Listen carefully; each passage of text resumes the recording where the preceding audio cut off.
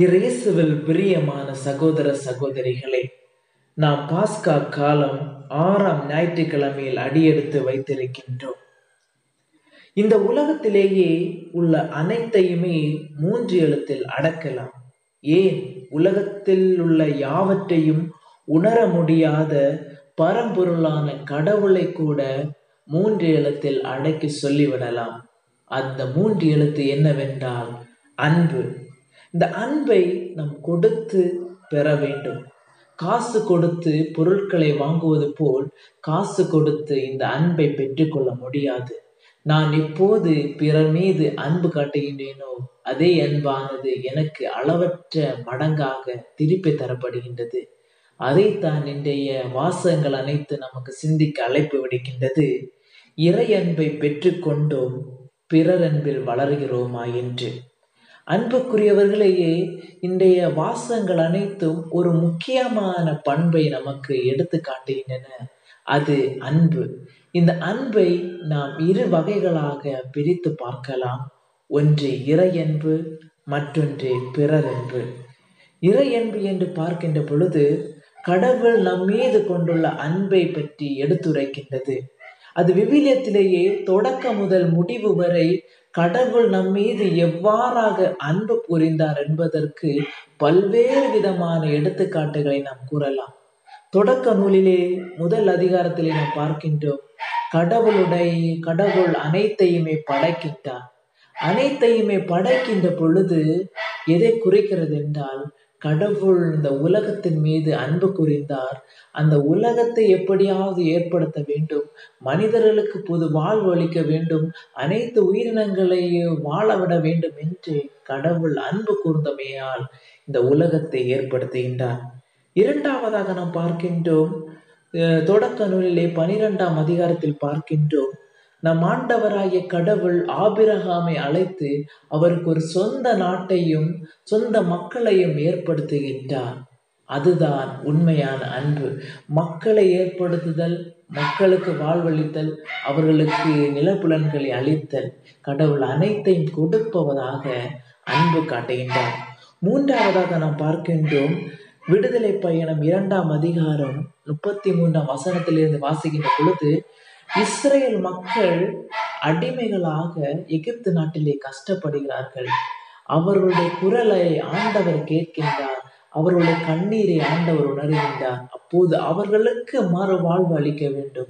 அடிமைத்தனத்திலிருந்து விடுவிக்க வேண்டும் என்று அன்பு கூர்ந்த அந்த தருணமானது அவர்களை அடிமைத்தனத்திலிருந்து விடுவிக்கின்றதை நாம். விடுதலை பயண நூலில் இருந்தே வாசிக்கலாம்.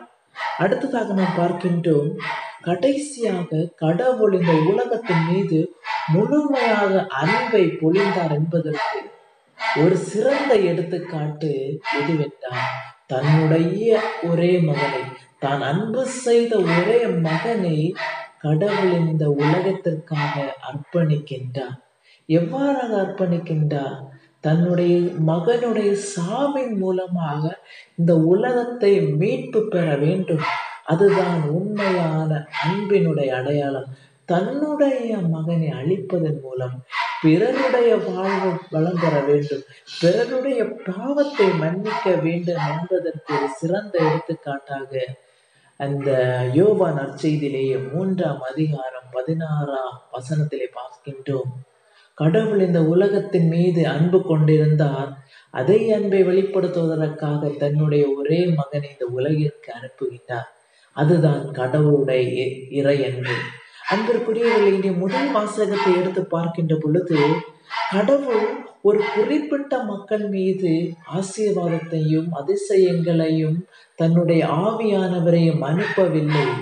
மாறாக பிற இனத்தார் வெறுக்கப்பட்டோர் தாழ்நிலை இருந்த அனைத்து மக்கள் மீதும் தன்னுடைய ஆவியானவரை அனுப்புகின்றார்.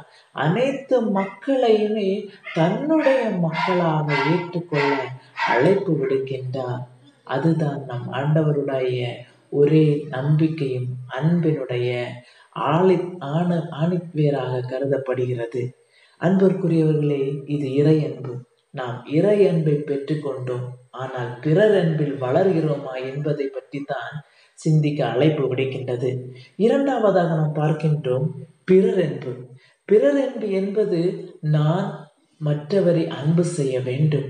அதற்கு நம் ஆண்டவராக இயேசு கிறிஸ்து கற்றுத்தந்த ஒரு உண்மையான கட்டளை என்னவென்று பார்க்கின்ற பொழுது தன்னைத்தானே அன்பு செய்வதைப் போல நான் பிறரை அன்பு செய்ய வேண்டும்.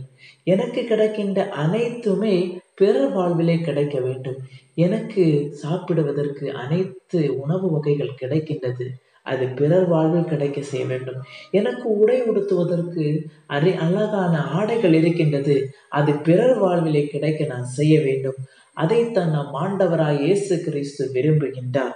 நம் ஆண்டவராய் இயேசு கிறிஸ்துடைய வாழ்க்கையை எடுத்து பார்க்கின்ற பொழுது அவருடைய முக்கியமான நோக்கம் என்பது பிறர் அன்பில் மக்களை வழி நடத்துவதற்காக.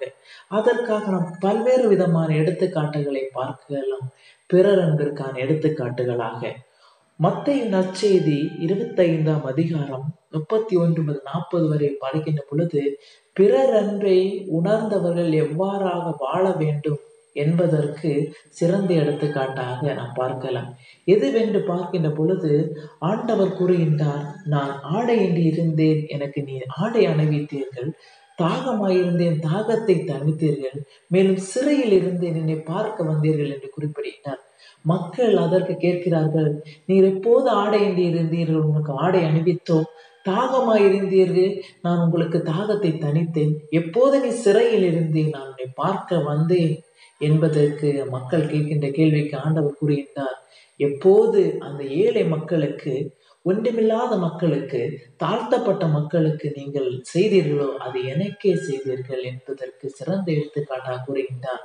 நான் எப்போது தாழ்த்தப்பட்ட மக்களுக்கும் வெறுத்து ஒதுக்கப்பட்ட மக்களுக்கும் வறுமையில் வாடுகின்ற மக்களுக்கும் ஏழை மக்களுக்கும் அன்பை பொழிகின்றேனோ அதை கடவுளுக்கு செய்ததாக நம் ஆண்டவராக இயேசு கிறிஸ்து பிறர் அன்பில் வளர அழைப்பு விடுக்கின்றார்.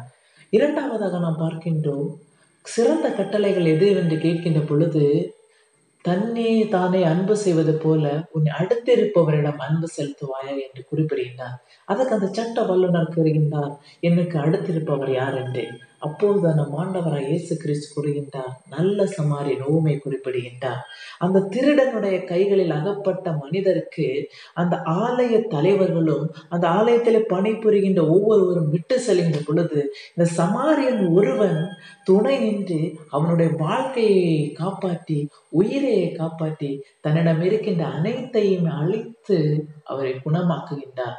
அதுதான் பிறர் அன்பில் விட்டது எப்போது தாழ்த்தப்பட்ட மனிதனோ எப்போது ஒரு மனிதன் அடிபட்டு கிடக்கின்றானோ எப்போது ஒரு மனிதன் அனைத்தையும் இழந்து தவிக்கின்றானோ அவனுடன் சென்று தனக்கு இருப்பவற்றை அழித்து அவனை வளர செய்வதுதான் பிறர் அன்பினுடைய முக்கியமான நோக்கம் என்பதை எடுத்துரைக்கின்றார். அதே போல் நாம் பார்க்கின்றோம் பிறர் அன்பில் வளருகின்ற பொழுது நாம் பாவிகளை மன்னிக்க வேண்டும். பாவிகளை மன்னிப்பதன் மூலமாக அவர்களுக்கு ஒரு மறுவாழ்வு கிடைப்பதற்கு சிறந்த எடுத்துக்காட்டாக லூக்கா நற்செய்தியிலேயே பத்தொன்பதாம் அதிகாரத்தில் நாம் பார்க்கின்றோம் ஆண்டவராய் இயேசு கிறிஸ்து சக்கேயுனுடைய வீட்டிற்கு சென்று விருந்தமர போகின்றார். அப்போது அந்த பாவி என்று வெறுத்து ஒதுக்கப்பட்ட அனைவர் முன்னிலையும் அவரும் கடவுளுடைய மகன் என்பதை விருப்படுத்தி நானும் பிறரை மன்னிக்க வேண்டும் பிறரை ஏற்றுக்கொள்ள வேண்டும் என்று பிறர் அன்பில் நிலைத்து வாழ அழைப்பு விடுக்கின்றோம். அதைத்தான் இந்த இரண்டாம் வாசகத்திலே நாம் பார்க்கின்றோம்.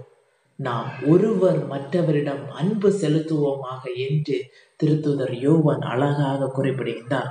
ஏனெனில் நாம் அன்பு சொல்கின்ற பொழுது இந்த அன்பானது கடவுளிடம் இருந்து வருகின்றது.